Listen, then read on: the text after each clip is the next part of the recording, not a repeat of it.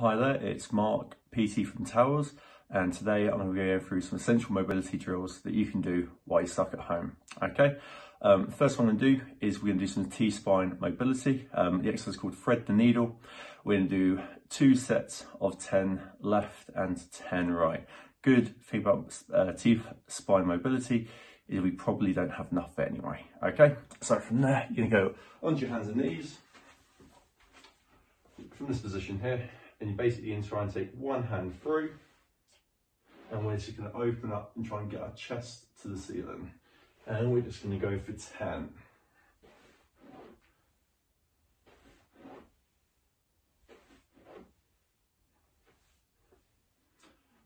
Um, so for the next exercise, we're going to work on our ankles and toes.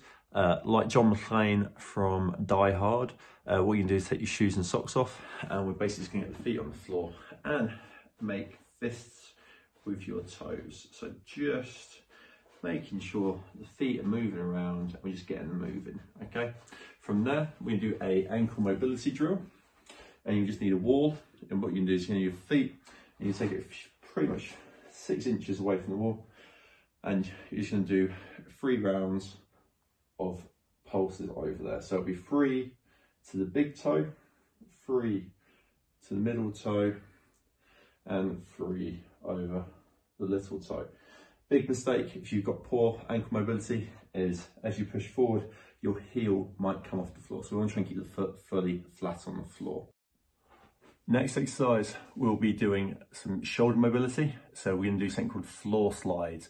Uh, I'm going to show you an alternative, uh, and it's called wall slides. So you can do either one, which uh, you find more comfortable. Okay, so what you need to do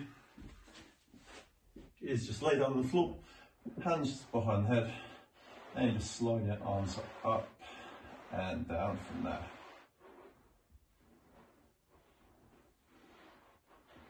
Again, two sets of 20. If going to use a wall, let's turn you over there. Use it up against your wall from there hands there, and again sliding up. And this is a little bit harder than the floor version.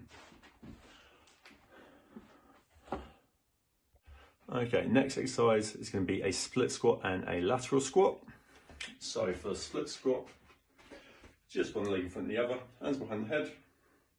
And all you can do is both feet facing forward, and we're just going down and up. So I want to try and keep a nice tall chest and shoulders and elbows back. From there, we're going to lateral squat.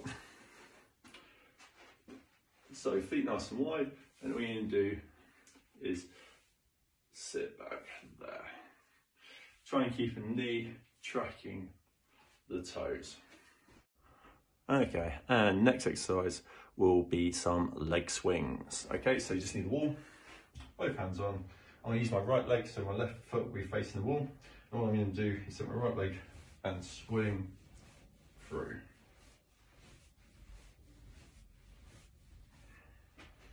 And we'll do 10 left, 10 right. So I hope you find those exercises worthwhile. Give them a go, let me know how you find them. And with all the exercises, I say do two sets of 10 to 15 reps on each side where necessary, okay?